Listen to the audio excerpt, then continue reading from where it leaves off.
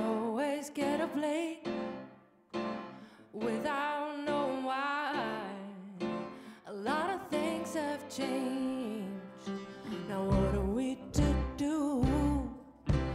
My friend and I, we can't kick the habit of sometimes